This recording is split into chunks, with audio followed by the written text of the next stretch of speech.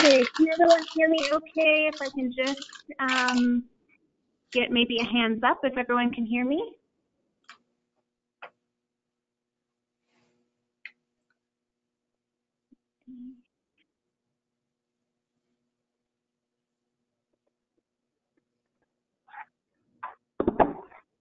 Let's see.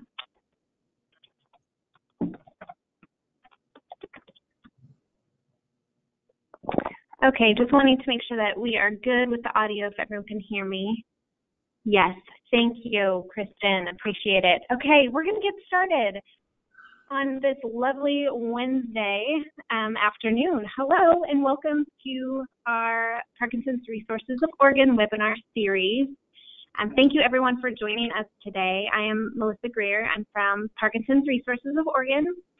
If you are not familiar with our organization, we are a nonprofit based in Portland and with employees in Eugene and Central Oregon as well. We provide information and support and educational services to people whose lives have been touched by Parkinson's disease. And we do host these online presentations in an effort to make information on a variety of topics available um, through this live interactive video webinar that is free for everyone to access. Um, before I get started, I just wanted to go over a few details. Um, so please feel free to submit your questions throughout the program in the box provided in the browser that's on the left. Um, there have been questions that have been submitted already before the presentation that have been sent to Dr. Quinn, so he will be reviewing those as well. He might be reviewing some of that stuff within the actual presentation, so keep your um, ears and eyes open. And we are going to save some time at the end for other questions um, and try to get through them as much as possible. If you're having any technical challenges, um, please feel free to submit those in the questions box as well. Many of you have kind of um, writing me as in the question box. So if there's any issues, that's where you will definitely want to um, um, let me know, and we will be working on those as quickly as possible. Uh, the last thing that I do want to go over is that this will um, be recorded and up on our, our YouTube page. So if there are any issues um, that you're experiencing technical wise, um, or if you do have friends that were not able to make it today, you can let people know that it will be up on our YouTube page. So I will be handing it over to Dr. Quinn. Today we are talking about preventing cognitive loss in Parkinson's disease, and is the research going to improve treatment? So Dr. Quinn is a neurologist at Oregon Health and Science University. Um, he is the director of Parkin the Parkinson Center at OHSU, and he is also a board member at, with Parkinson's Resources of Oregon. Um, so I'd like to hand it over to Dr. Quinn. Great, Melissa. Thanks um, for the introduction and thanks for inviting me. And, and um, thank you, everybody who's on the line um, listening. Um, I've got a bunch of questions that Melissa sent in uh, earlier, and uh, I'll try to uh, refer to them as I uh, as I go through the the talk. They uh, a lot of them uh, relate very nicely to what I've already sort of prepared here. Um, there we go. All right, so um, uh, Melissa, please let me know if the slides are not advancing or if, if there's trouble seeing or, or hearing or, or, what have you. I'll, I'll, keep an eye on the on the um, little chat box there. So this is the uh, overview of what I'm going to try to cover uh, in the next 45 minutes or so. Uh, I'm going to talk a little bit about cognitive changes in Parkinson's disease, talk to you about some things we can recommend in the here and now in terms of uh, preventing cognitive decline, uh, and then move on to the, the topic in the title, which is to, to talk about uh, research, um, what's what's we've already learned from research, and then um, uh, what research is underway and, and what we might um, learn in the near future. So, so to start with cognitive changes in, in Parkinson's disease, uh, you know, this list of symptoms here uh, on the slide where it says classical view of Parkinson's disease, these are sort of the, the cardinal symptoms of the disease. And, and you can see the picture on the right of a person with rigidity and um, change in posture, change in gait, and, and so on. Uh, and uh, this is what Dr. Parkinson described uh, 200 years ago uh, when he wrote this uh, famous uh, essay, and ultimately the, the disease was named in his honor. And he made a specific point uh, that the intellect was not affected. So that middle bullet point on the slide, uh, the absence of any injury to the senses and to the intellect. Uh, he was making the point uh, at that time that cognitive changes are uh, were not thought to be a part of, of uh, Parkinson's disease.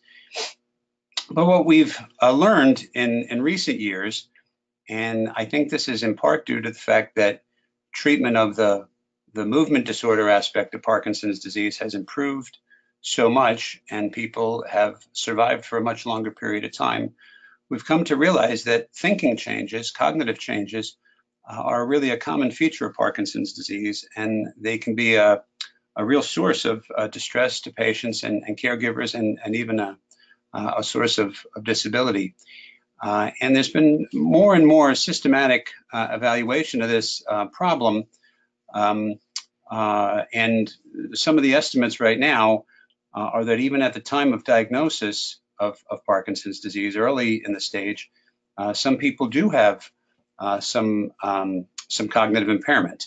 Um, we, we use the term mild cognitive impairment to describe a degree of, of thinking problem that falls short of an overt dementia. And then we use the term dementia to describe uh, thinking impairments that are severe enough to interfere with somebody's uh, ability to function day to day. so some recent estimates are that at the time of diagnosis, about 20% of people uh, have mild cognitive impairment even early in the disease course. Uh, and um, if we if we look at people at all different stages, uh, more than 50% may have 50% um, um, uh, of the patients with Parkinson's disease may have cognitive impairment. Um, for more severe problems, it really seems to be a function of the duration of the disease. So, you know, so somewhere between 30 and 40% of all people with with Parkinson's disease uh, will have cognitive problems um, at, at, this relatively severe range. Um, but it tends to appear later in the course of the disease. So by 15 years into the disease, um, uh, a majority of people, as many as 80% in some studies, um, will have a dementia. And, and this really seems to be uh, not just uh, an aging phenomena uh, in that even when you compare Parkinson's disease to people of their own age, the incidence uh, tends to be higher. Um, now, I, I, um, I, I, always hesitate when I present this information to, to an audience of patients for fear of creating undue uh, anxiety. Uh, not everybody uh, develops these problems. Some people are spared, uh, and we are working hard to understand the difference uh, in the hopes of sparing more people. But I think it's important for us to, to recognize that this is something that um, uh, is an area that really requires a lot of uh, research and investigation and, and uh, more effective treatments, and that's what we're going to try to uh, get into. But, you, know, I didn't want to jump right into the research without making the point that there are some things that we can do uh, in the here and now, some things that we can recommend um, that are really uh, based on, on some sound evidence. So that's what I'd like to talk about uh, next. And one nice way to divide these things uh, is to think about diet uh, and activity and, and medications as, as, sort of a three um, pronged um, plan for any sort of preventive medicine. Um, uh, I actually uh, sort of stole this from a cardiologist who uses that approach, but I, I, think it just makes intuitive sense that those are three things that we have some control over and, uh, and that are worth commenting on. So uh, with respect to diet, um, uh, you know, uh, there's a, a, truism, this, this statement here on the slide, all the things that we know are bad for your heart turn out to be bad for your brain. Um, that's from one of the leading experts in, in cognitive changes in, in, later life, who's from Johns Hopkins.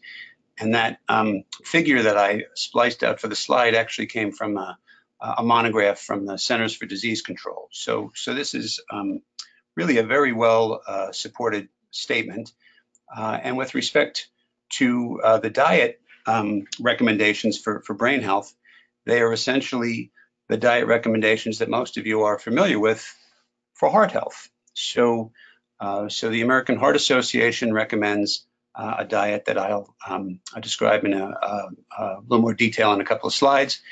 Uh, and there's a sort of more elaborate version of that diet uh, called the Mediterranean diet. And, and either of these diets um, uh, uh, are you know very appropriate for brain health. There's an abundance of of data now to indicate that these are the things that keep the brain uh, healthy at the dietary level and can help to um, um, not absolutely prevent uh, the possibility of cognitive change, but but uh, move things in a favorable direction.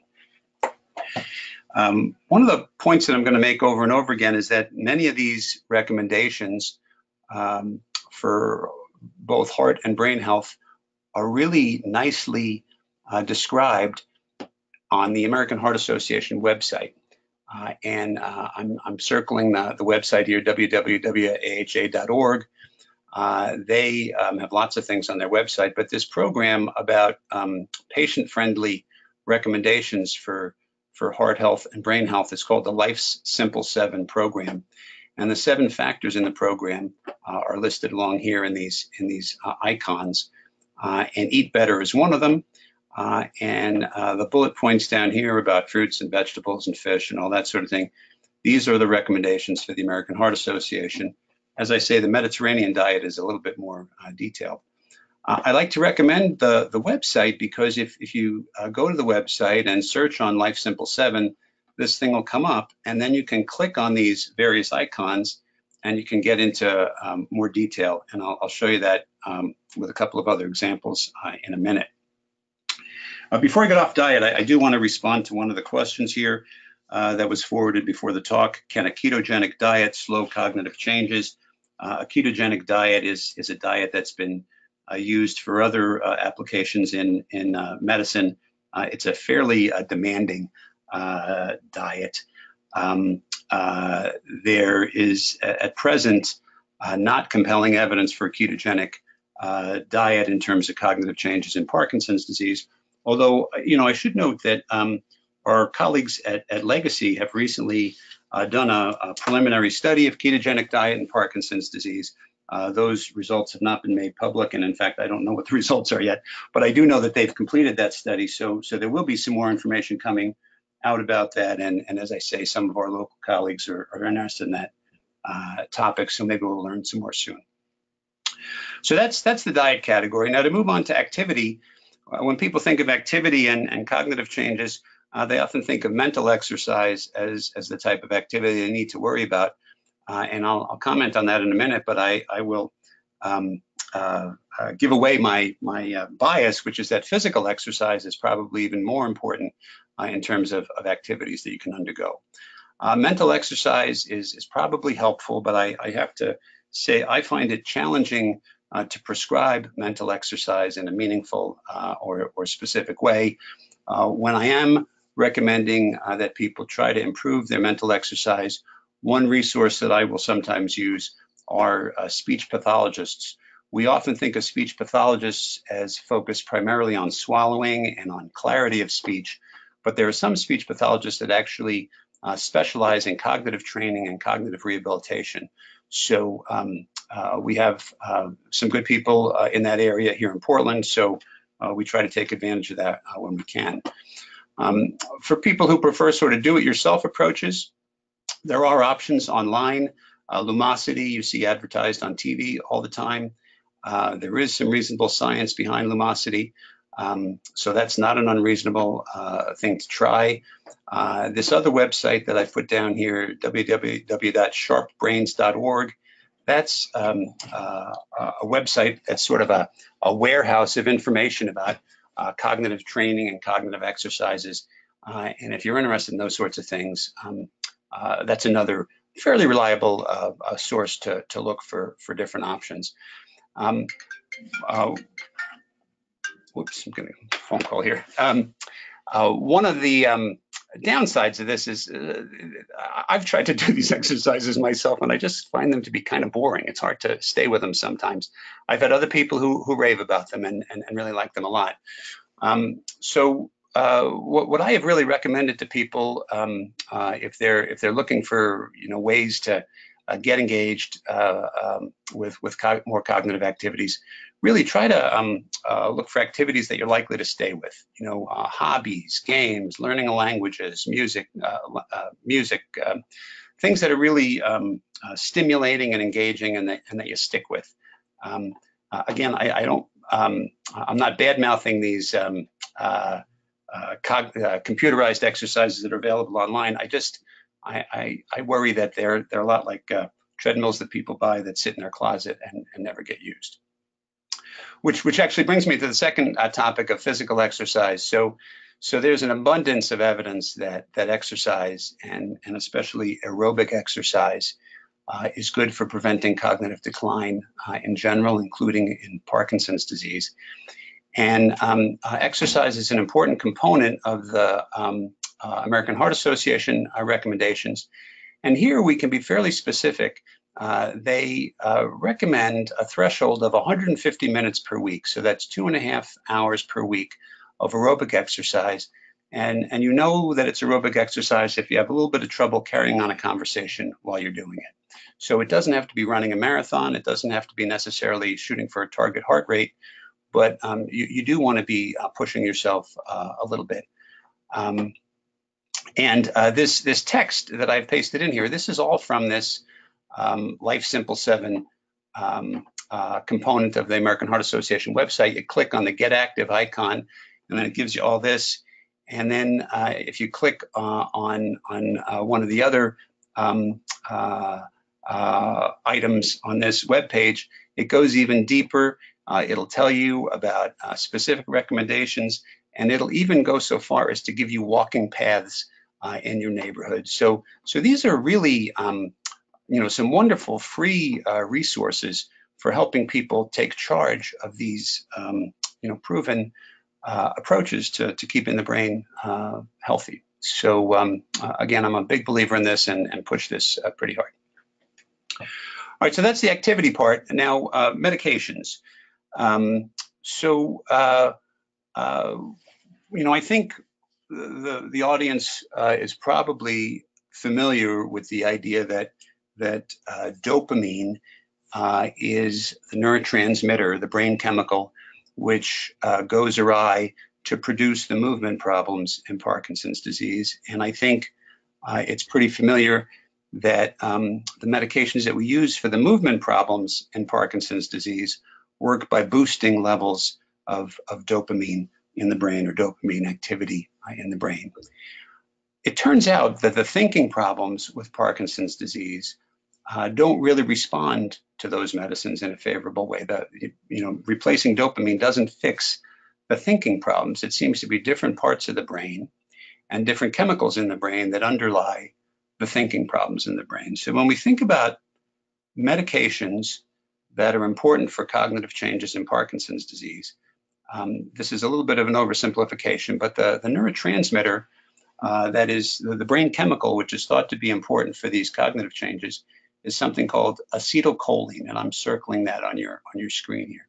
So acetylcholine is is a, another neurotransmitter distinct from dopamine, uh, and it's it's got widespread um, uh, activity uh, in the brain. This this diagram here is, is showing some of that. Uh, and you can see that the arrows are pointing um, to the to the surface of the brain. You know, this is the the cerebral cortex, the thinking centers of the brain, uh, and then there's also a projection to the memory center uh, of the brain. So this system uh, is something that is um, very important to cognitive function uh, in general, but uh, we also know now that it's very important to cognitive function in in Parkinson's disease. And um, when we think about medications, uh, we, um, uh, I think first, with respect to cognitive function, think about medications that uh, are influencing uh, this, this particular uh, chemical, acetylcholine. Uh, in my next couple of slides, I'm going to make some specific points about those medications, but I want to emphasize that there's not a one size fits all program here. Uh, and um, sometimes people need to be on um, uh, medicines that that uh, uh interfere with acetylcholine for for other reasons. Uh, and I'm I'm going to share with you some some um, general guidelines about medication use, but I don't want uh, to run the risk of having everyone go to their doctor tomorrow and, and tell them that Dr. Quinn told them to take them off medicine X, Y, and Z. So, so the first thing that we look at is is whether people are uh, with respect to medications anyway, the first thing we look at is whether people are taking medicines that block that that brain chemical, medicines that are what we call anticholinergic medicines, block uh, the transmitter acetylcholine. The medicines I've listed here are a partial list of, of some of those uh, medications. Um, and the first two are actually sometimes prescribed for some aspects of, of Parkinson's disease. So we, we um, think carefully about whether the, uh, the benefits of those medicines with respect to movement uh, outweighs the risks with respect to cognition. So we, we review these medicines carefully. Uh, some of the other medicines are, are medicines that are um, uh, used for other purposes, uh, but they can can actually interfere with with thinking function. So we we try to uh, get rid of medicines that block the neurotransmitter uh, acetylcholine, and then we also have medicines that can actually boost levels of the neurotransmitter, and and um, we would call those procholinergic medicines. Uh, and, and again, in both of these cases, I've emphasized this is if appropriate. This is not a, a blanket recommendation. Uh, this is something that you'd want to discuss with your doctor. But if, if someone is having um, uh, significant changes in their uh, mental abilities uh, in the setting of Parkinson's disease, we do think about uh, using medicines that are procholinergic. Um, one of those medicines has, has specifically been tested uh, in the case of, of Parkinson's disease, and that's um, rivastigmine. The brand name for rivastigmine is, is Exelon. So the FDA has approved that for the treatment of dementia and Parkinson's disease. One of the other medicines is maybe a little more familiar, and that's uh, donepezil is the generic name. The brand name there is, is Aricept. Uh, uh, the FDA hasn't recognized the effect of, of uh, donepezil because the studies were not um, done in a manner to persuade the FDA. But these drugs both work by a very similar uh, mechanism of action, and the evidence that is available uh, supports donepezil uh, as much as uh, rivastigmine. So, so those are just some some thoughts about um, uh, medications. One of the questions that came to me was, um, what are the best meds to slow the progression of, of memory loss? And and uh, so that's a partial answer to those questions. Right now, these medicines are not recommended uh, for people who have no cognitive changes at all. It's, it's really just for people who have um, some level of cognitive change. One of the other questions that was sent in advance was, uh, what is the difference between um, uh, donepezil and Namenda as far as slowing cognitive decline? Um, Namenda I did not include in my slides uh, because it works on, on yet another uh, brain chemical. Uh, with Namenda, there's even um, uh, it's, a, it's a pretty modest uh, amount of evidence to support the use of uh, Namenda in Parkinson's disease, but there is a little bit of favorable evidence, and, and I think it's um, um, it's a reasonable thing um, uh, to consider, um, uh, but I, I, I, don't recommend it uh, routinely. if I'm going to use a medicine, it's usually one of one of these two. Um, the problem with these two is rivastigmine and donepezil. That is, is that people tend to um, or some people have, have problems with their stomach when they're on the medicine. They get diarrhea, they get upset stomach. Uh, Namenda doesn't have that side effect, so that's one relative uh, advantage. Um, so again, I'm, I'm, going off topic a little bit to respond to this question, um, but I better get back on task or we'll run out of time here. So, so that's my, my summary about diet and activity uh, and medications. What about other things that we, we can do to, to keep the brain healthy, keep the mind healthy? Uh, and, and again, I, I want to emphasize that this Life Simple 7 uh, includes you know, seven factors that we haven't described in detail. We talked about aerobic exercise, but uh, cholesterol control, blood pressure control, blood sugar control, uh, and the absence of smoking are also uh, things that are good for the brain. I know I can't see your faces right now, but I can imagine your eyes are rolling that you already know all this stuff, right? You know about all these heart recommendations. Um, but the important thing, uh, I think, with respect to this slide is to realize that even though all of us know that these are the right things to do to keep healthy, including keeping our brain healthy, only 2% of the American population meets these guidelines. So um, we've all got lots of work to do. And, and that's why, even though I know at some level people are aware that these are important, uh, I really continue to uh, hammer them. Uh, again, the website at the American Heart Association has some very user-friendly tools uh, to help you uh, approach these things and, and, and, optimize them. All right, now how about uh, things beyond Life Simple 7? Well, there's two things that we haven't mentioned that I think are very important. One of them is to optimize the quality of sleep. And the other one is to recognize that depression is bad for the brain. So if somebody has depression, and, and depression is not uncommon in Parkinson's disease, you've got to make sure that you, you treat it. So let me let me say a couple word, more words about sleep. So sleep apnea uh, is one of the uh, uh, problems that we see in, in, people who get older. Um, uh, and uh, sleep apnea is actually associated with an increased risk of stroke. Uh, it's associated with an increased risk of dementia. Uh, and and then uh, it can also just make people sleepy during the day if you have sleep apnea at night, and that will uh, interfere with your cognitive uh, function. So those are three reasons uh, to um, take sleep uh, very seriously. And if if you're um, snoring a lot at night, if your if your bed partner notices that you stop breathing briefly at night, or if you just wake up fatigued and don't get rested well at night, uh, thinking about a referral to a sleep specialist is, is very much in order. Uh, this is one of the most um, potent things I think we can do to uh, reduce our risk of cognitive decline uh, over time. Uh, there's also some evidence, this is more in the, in the basic science world right now, there's also some evidence that, that when you get um, good quality sleep, it clears out some of the bad things that accumulate in the brain during the day, including things that may contribute to Parkinson's disease and, and other um, causes of cognitive dysfunction. So, so sleep is very, very important and um, uh, should be optimized if we're trying to uh, retain our cognitive function. Uh, depression uh, is the other one that I mentioned just a second ago, and um, uh, I want to make the point that that um, depression really is bad for the brain. What we're seeing here, what I'm circling with my arrow, that's a, a brain cell uh, in the memory center of the brain, and, and these are all the branches coming off of it. And you can see that in a setting of chronic stress, including depression, the branches decline. Uh, and then if you look at this higher magnification one here on the left, all these little bumps sticking out from the sides, those are synapses. That's what synapses look uh, like under the microscope. And you can see that under chronic stress or chronic depression, the synapses are damaged.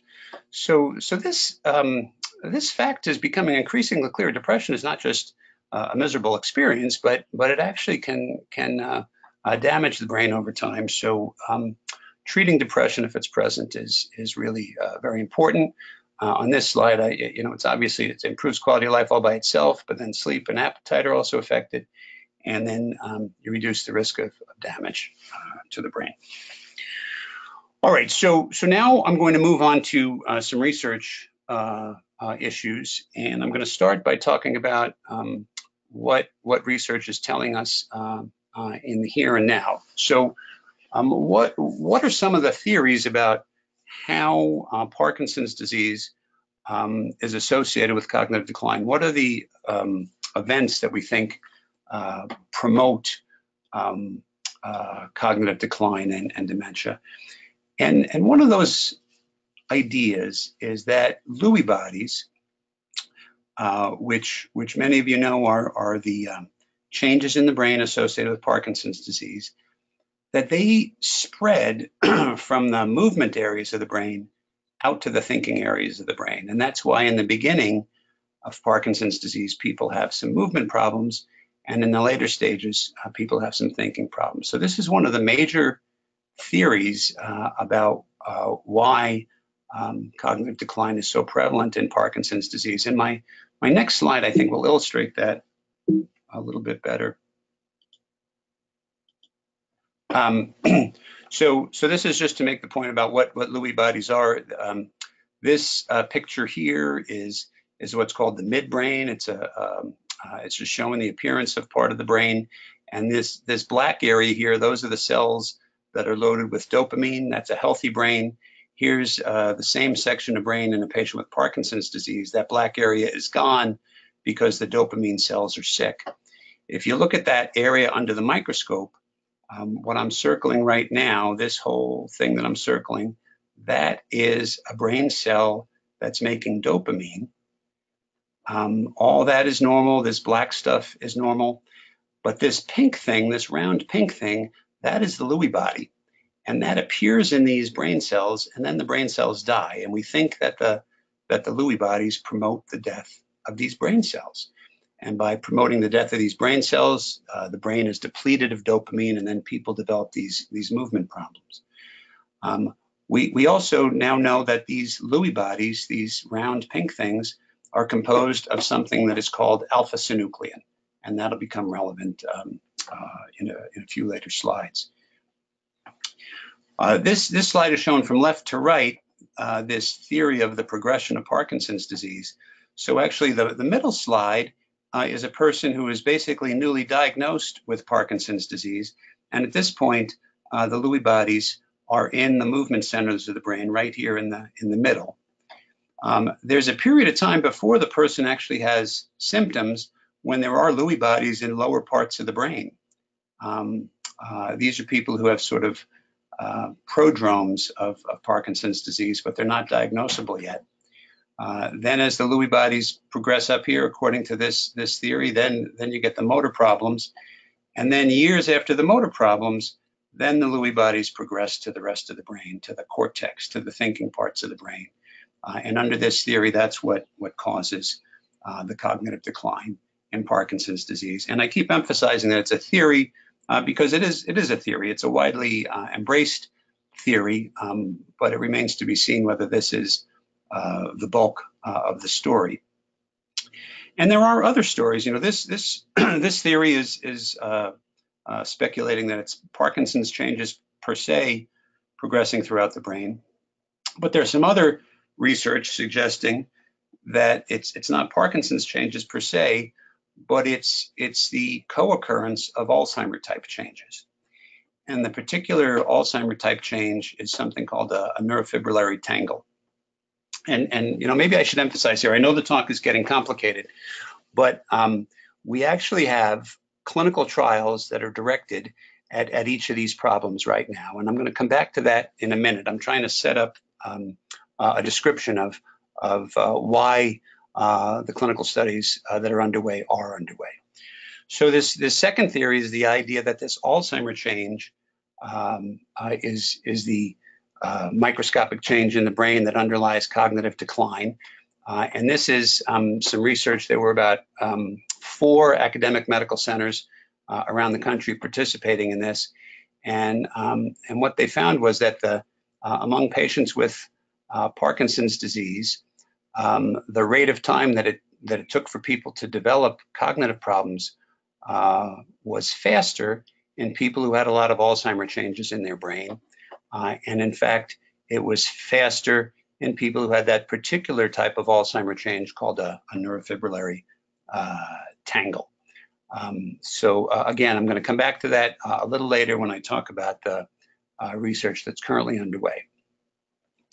The last theory that I'm going to talk about uh, is uh, based on the fact, and this is a relatively recent finding, that there is a gene that um, is seen in some people with Parkinson's disease. I should emphasize most cases of Parkinson's disease are not associated with a particular gene. But about 4% of people with Parkinson's disease have a gene called the GBA gene, and that gene uh, is um, uh, associated with a risk of Parkinson's disease. Uh, we knew about that gene, the medical community knew about that gene before uh, it was appreciated to play a role in Parkinson's disease because it was associated with another rare disease called Gaucher's disease. And um, one of the more recent observations about this gene is that it's actually associated uh, with, with cognitive decline in, in Parkinson's disease. So uh, Gaucher's disease is, as I say, a rare disease. Um, these are just some uh, slides explaining that this is a, a very rare disease. It's um, uh, associated with uh, um, uh, uh, something called a lysosome. Um, it's seen only in one in 40,000 people worldwide. And to get the disease, a person has to have two copies of the bad gene. All right, so uh, you know, everybody has has two copies of each gene, and what this figure is showing is that this father here has one bad gene and one good gene. The mother has one bad gene and one good gene. And if by chance uh, both of the bad genes go to a child, that child will will end up with this rare disease, this Gaucher's disease. And we've known about about that for a long time. What uh, is relatively newly discovered is that people who, who just have one copy of the bad gene, uh, including some of the siblings here or either of these parents, we, we didn't used to think that that was associated with any disease, but if you have one copy of that, uh, we now know that there's some increased risk of, of uh, Parkinson's disease. And um, as I said, it's about four to five percent of people with Parkinson's disease uh, have that gene. And um, we've also appreciated from a number of studies that if you have uh, one of those genes and you have Parkinson's disease, your risk of, of having some uh, cognitive decline uh, is increased. Um, so, uh, so that's that gives rise to this third idea about about um, the GBA associated gene um, being important for for this.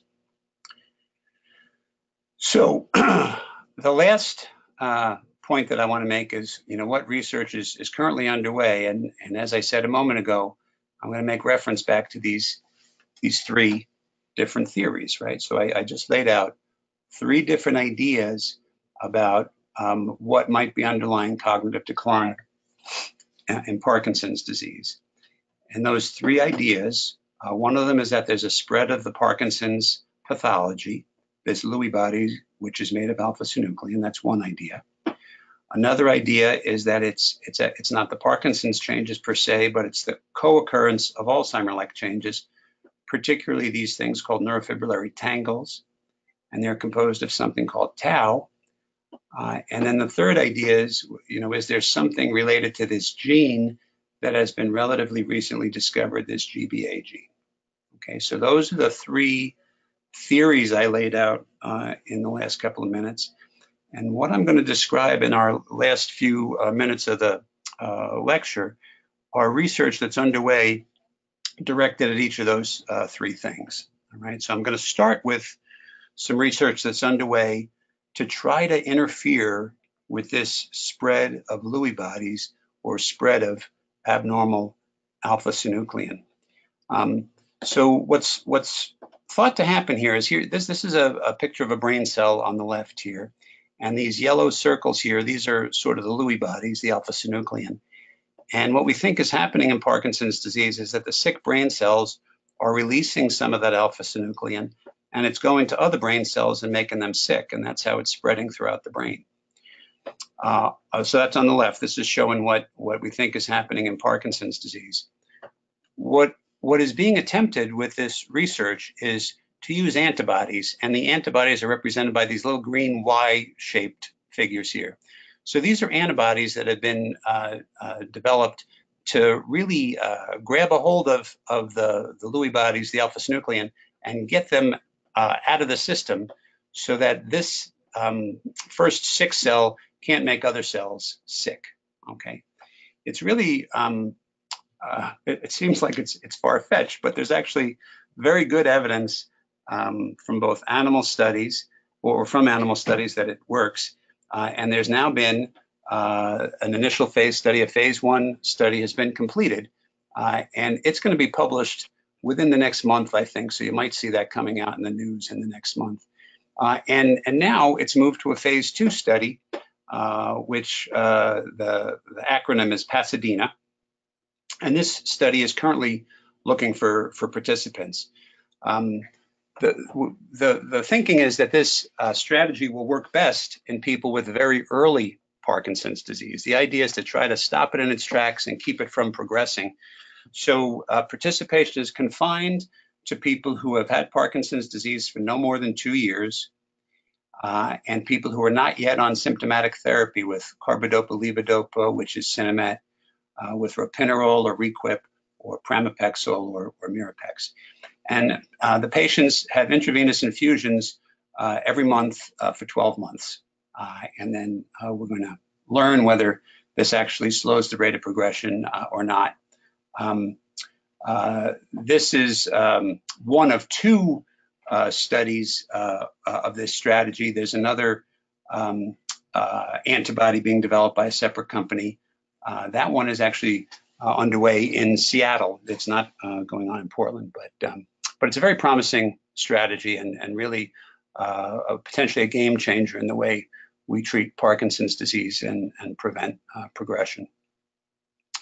So this idea about using antibodies uh, is also being applied uh, with respect to the second um, uh, mechanism that I described to you, uh, the, uh, the Alzheimer type changes.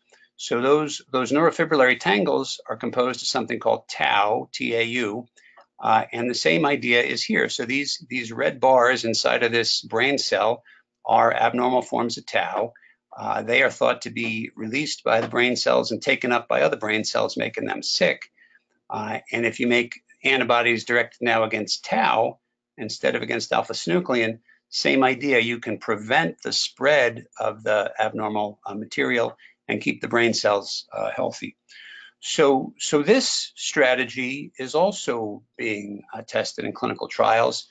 Um, I know for this audience, you, you, you, would like to hear that we had a trial for Parkinson's disease. Um, that's not quite there yet, um, but there is a trial of one of these antibodies for Alzheimer's disease.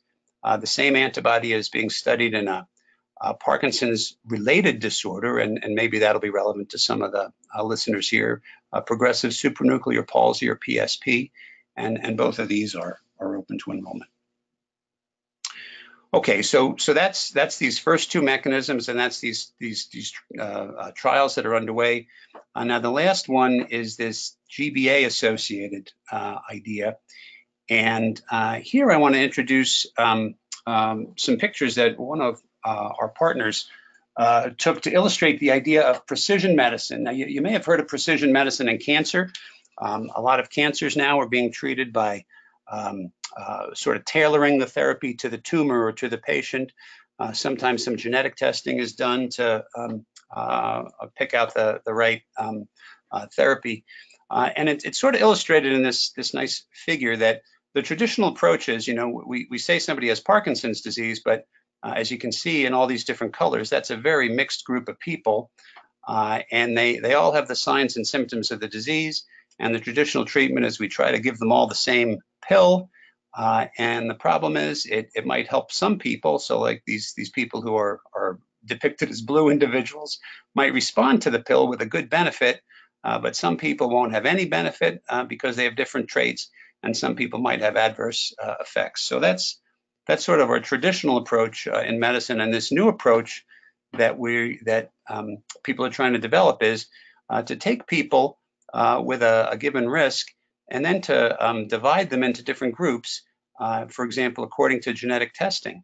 Uh, and then and then they would have therapies that are directed according to uh, uh their their uh, specific uh, characteristics. In this case, specific genetic characteristics, and then hopefully you would see benefits in all cases because you'd be tailoring tailoring the treatment to the person. So uh, this idea of precision medicine really doesn't exist uh, in neurology yet, but um, uh, the um, uh, existence of this uh, GBA gene in association with Parkinson's disease has led us to think that that maybe, you know, when I say us, the, the, larger medical community, that maybe this could be applied uh, in Parkinson's disease. So the trial that's underway right now involves genetic testing for the gene. Um, so uh, the first step is a person has Parkinson's disease. They express an interest in the study, and then they get tested for the gene. If, if they don't have the gene, uh, they're not eligible for this specific study. But then if, if they do have the gene, then they become eligible for a treatment. And, and the reason that the treatment is confined to this group is that the treatment is directed at, at the way that that gene works. So people who participate in this study are going to be taking a pill that targets the gene uh, they'll be compared with people on placebo. Uh, and then after a year, we'll compare the treated people versus placebo.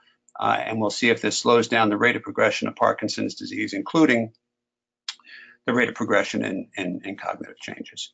So, um, so those those are some examples of, of research that really is, is already in, in clinical application. This is um, uh, you know years and years of work leading to uh, uh, clinical study here and elsewhere. So um, the last couple of points I want to make are, are, that you know sometimes people want to know how do I find out what clinical trials are available, and there's a couple of different resources. One of them is this uh, website, clinicaltrials.gov. Uh, it's managed by the National Institute of Health, so it's unbiased. It's not connected to any drug companies or anything like that. And what you can do is is uh, call up the website, and then you can um, uh, just punch in uh, under the condition. You can punch in Parkinson's disease. Um, you can select. You can look at all the studies, but you're probably going to want to select recruiting uh, studies uh, or studies that are going to recruit in the future. And then under other terms, if you want to just find the ones going on in Oregon, you can just write Oregon or Washington or, or, or whatever it is that you want to look for. So it's it's a, a, very comprehensive way to see what's going on. Another uh, source is the Fox Trial Finder, uh, maintained by Michael J. Fox Foundation. In this case, they look for, whoops, um, they they ask you to fill out more information uh, about yourself. Uh, it's a little less comprehensive, I, I have found, but it is um, uh, a great resource and a great way to help you find uh, trials and help the trials uh, find you. and then um, we also have clinical trials at OHSU. This is a, an email address that you can send your inquiries to if you're interested in, in seeing what's going on at, at, at OHSU per se. So, um, so that I think uh, covers the the topics that I laid out for you at the beginning. These these four topics, and just to sort of recap, these recommendations uh, for things that are already available. Uh, I, I, basically gave you 10 points, right? The first seven are these life simple seven, then depression, sleep, and an evaluation of your medications comprise a, a 10 point plan that, that can be executed uh, in the here and now. Uh, and then in terms of uh, uh, research underway, we've just gone through these examples here. So um, I went a little beyond my 45 minutes, but I think I'm in, in pretty good shape to uh, take some questions. Um, I don't see any further comments from Melissa in the in the chat box here. Maybe you can. Um, oh, here we go. Um, all right. Uh, so uh, one question uh, is uh, is eating more fat good for the brain, such as olive oil and coconut oil? Um, um, you know, there's good fats and there's bad fats. Uh, olive oil um, tends to be a good fat. Um, coconut oil, I know there's been a lot of um, uh, anecdotal uh, information about uh, cognitive improvements, um, but uh, coconut oil is not uniformly a good fat. So uh, I, I, guess I wouldn't push that. the where the, the place to find out information about fat content in your diet again is the AHA website, the diet section is, is really very nice. Uh, second question is how do I find a speech language pathologist who works with uh, people with Parkinson's on cognitive function and memory? Um, um, uh, let's see. So, so well, at, at, OHSU, we have two people who specialize in that area. Um, um I, you know, I don't know specifically each of the other hospital systems whether they they they have that, but uh, uh, I would imagine between Pro and between OHSU, we could try to uh, identify people who who uh, would be appropriate to help with that that sort of thing. Um, so I I, um, I might suggest you start with Pro, who will have a better sense of of the rest of the community. I hope I'm not putting anybody on the spot there. Uh, and um, uh, but we could start to uh, look into that uh, as well from, from our perspective at OHSU. Um, okay, so Melissa is asking me to put down the, uh, whoops, the email for OHSU. There it is. Um, I went through that quickly. Uh, and then uh, again, um, you know, I'll also, uh, I'll leave that up for a few minutes. I'm going to go to the other two sites as well that are comprehensive and would give you uh, resources beyond OHSU. I'm going to come back to the to the questions that Melissa sent me in advance, um, and and I'll try to go through all of them.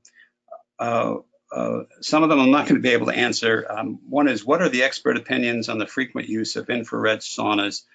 Um, uh, I, I, don't have any opinion on um, uh, infrared saunas with respect to cognitive change um, per se.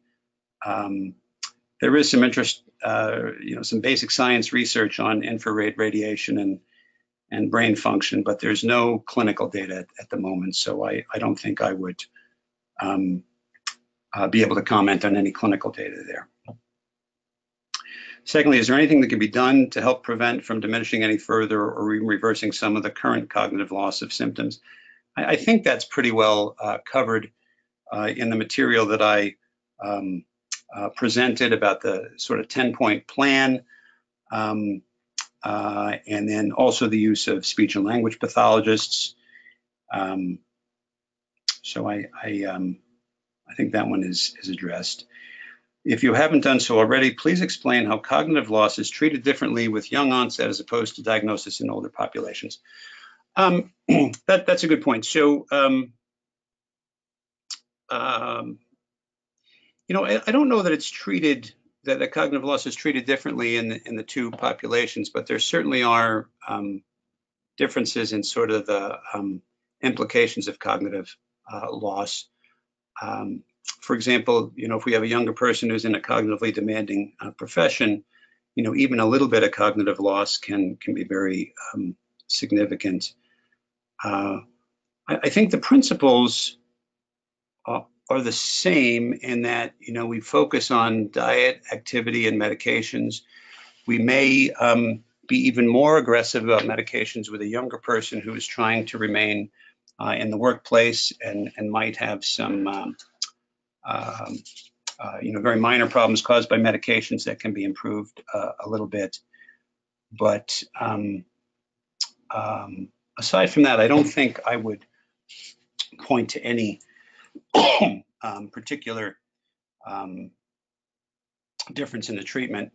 Uh, you know, I will say that uh, one of the puzzles in, in the research so far has been that people with uh, young onset um, uh, uh, don't seem to be as at high a risk of cognitive loss as people with older onset, which is is um, uh, if you think about it, not in keeping with some of the hypotheses that I laid down there for you.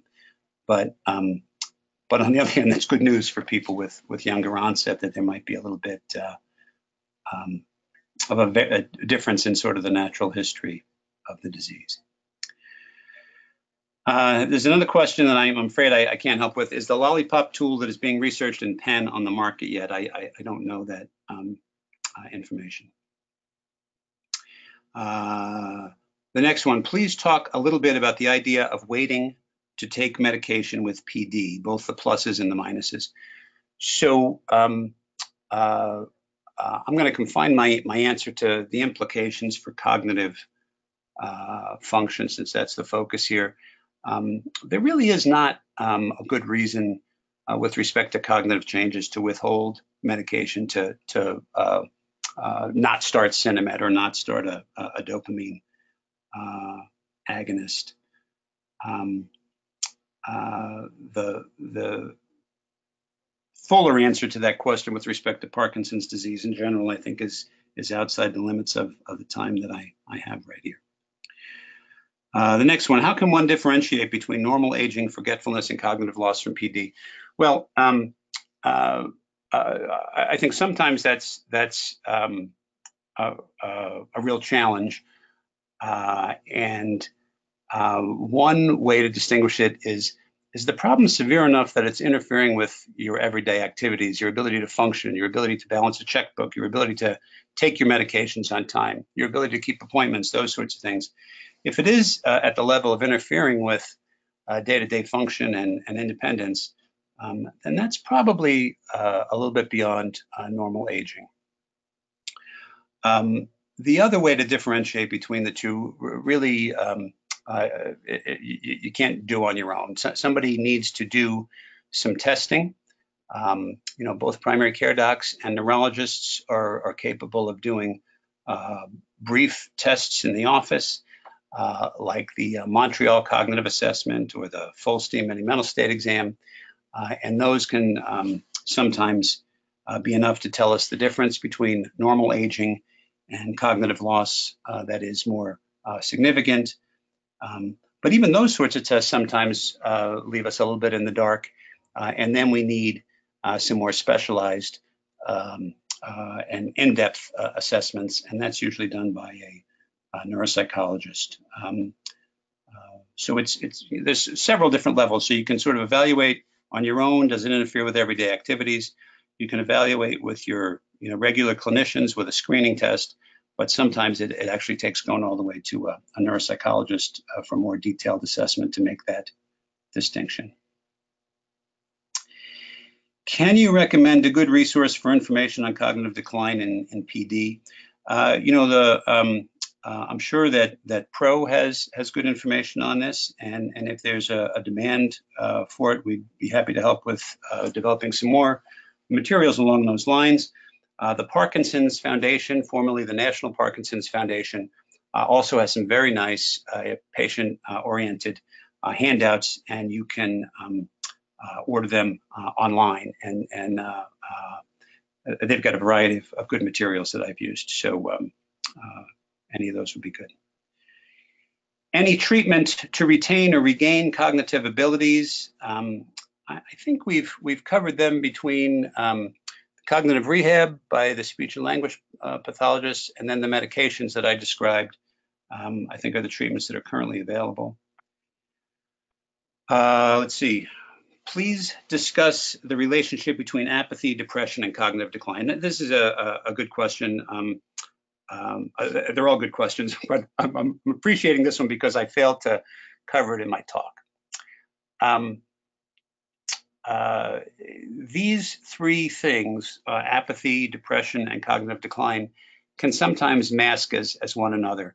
So um, uh, you know, when we hear about people with Parkinson's disease uh, or, or uh, just other elderly individuals, um, and we're, we're concerned about cognitive decline, the family's telling us about cognitive decline, um, uh, almost every clinician is going to have high on their list. Let's make sure it's not, not just depression that is giving the appearance of, of cognitive uh, decline. Um, uh, the, there, there are some differences on, on what we see on, on cognitive testing that helps us to make that uh, distinction.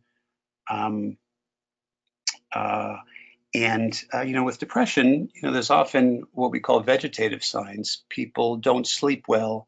People don't eat well. Um, and and then of course, if people are crying and clearly having an overt mood problem, then that really points us to a, a problem with depression. So um, uh, uh, whether it's the primary problem or just coexistence with cognitive decline, uh, we need to treat uh, depression uh, aggressively. But um, I think the questioner is maybe trying to bring out the, the question of how to distinguish between the two, and um, and those are some of the features that we use. Um, apathy is is you know the other symptom that's listed here. Uh, and the, the challenge with apathy is apathy can be a reflection of depression, or it can be a reflection of, of uh, uh, cognitive decline and dementia uh, per se. So um, apathy is uh, tricky to sort out, and, and I think we use the same rules to um, distinguish whether apathy is related to the cognitive decline per se uh, or to the depression. and my own feeling is um, uh, if if if I'm in doubt, I, I will uh, often recommend treating with antidepressants to see if we can bring about some improvement. Um, um, if it is depression, we often see a robust response. Uh, if it's not depression, apathy is is a little tough to uh, uh, to have much of an impact on. Uh, sometimes medicines like Exelon and Aricept can be helpful for apathy, but I, I wouldn't try to tell you that that's uniform. The last question that I have listed here is, can cognitive loss be a precursor to dementia and or Alzheimer's disease? Uh, and, and, the answer is, is yes, that, that people who have some cognitive decline, people who have, you know, this entity we call mild cognitive impairment, uh, are at increased risk of developing uh, dementia over time. Um, but uh, it's not um, an absolute um, uh, certainty that that's what's going to happen. And I think um, uh, we should take a, a, a can-do attitude to uh, cognitive decline, and that is try to uh, hit it with everything that we've got, as, as I tried to describe in the lecture. and, um, uh, uh, and, and try to prevent things from, from advancing. All right, so I'm, I'm seeing um, a couple of other questions uh, uh, from Melissa. So one says, uh, actually, let me, I'm going to advance the slides a little bit. So here's the Michael J. Fox um, uh, website. If you want to take a look at that, I'll leave that up for a while and then I'll put the clinical trials up. What about hyperbaric chambers? Um, there is no evidence that hyperbaric chambers uh, uh, improve uh, cognition. No, no compelling evidence. There is no practice parameter that uh, approves of the use of hyperbaric chambers for improving um, uh, cognitive outcomes.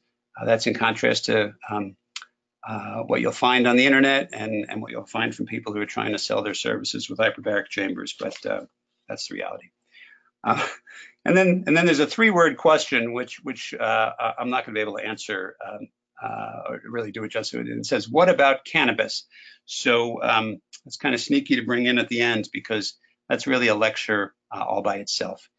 Um, cannabis is, you know, obviously a complicated plant uh, with many many components. Um, uh, as many of you know, people talk about THC and CBD as the two main components. Uh, CBD is all the rage now. It doesn't make you high, but it may be good for the brain in other respects. But the, there is virtually no clinical data uh, on CBD, reliable clinical data, uh, and even the basic science data is, is relatively limited. So my um, uh, approach is that I don't routinely recommend cannabis, and, and I, I, don't I don't make the recommendation really in any circumstance for Parkinson's disease or cognitive impairments. Uh, as you know, it's legal in the state of Oregon, uh, and if people want to try it, um, they're they're welcome to to try it, and I encourage them to let me know. And I think uh, all of your doctors would like you to let them know if you're if you're using it. But um, I um, uh, I'm not recommending it in the absence of evidence uh, and in the absence of regulation for, for what's actually in the preparations that you receive. So it makes it impossible for, um, for me to dose it or, or make uh, very specific recommendations. So um, I, I, think uh, that covers all of the questions that I've seen. Um, Melissa, did you want to come on and and close mm-hmm. things out? I... Absolutely. And right. thank you, Dr. Quinn. I appreciate you calling the cannabis question sneaky at the end. so just, just wanting to um, let everyone know, we did have a specialist that talked about cannabis on last year, and I believe that recorded webinar is up on our YouTube page. Um, I can't, it's been about a year, so I can't necessarily say um, if the, if cannabis and cognitive changes were discussed, but it's you know I've encouraged people to kind of take a look at that webinar um, recording if they are interested. Um, so again, thank you, Dr. Quinn, so much, um, and thank you all for being here today and participating. So again, a video recording of this webinar is going to be available on our YouTube page, um, and you can find that link on our website at www.parkinsonsresources.org. Um, if you had any burning questions that did not get answered or any further inquiries, please email me at melissa at parkinsonsresources.org. Um, we just want to say real quick, we do have a speech language pathologist that was on the webinar, um, and so there was a question about finding um, finding someone that could help with cognitive changes and maybe memory. And you can go on the American Speech and Hearing Association website and oh, um, and find someone there. So thank you so much for um, for that information. Um, and this concludes our webinar broadcast. So thank you again for for joining us today, and stay tuned for our next webinar. Um, and again, thank you very much, Dr. Quinn. Okay, thank you, everybody. Have a great day. Bye bye.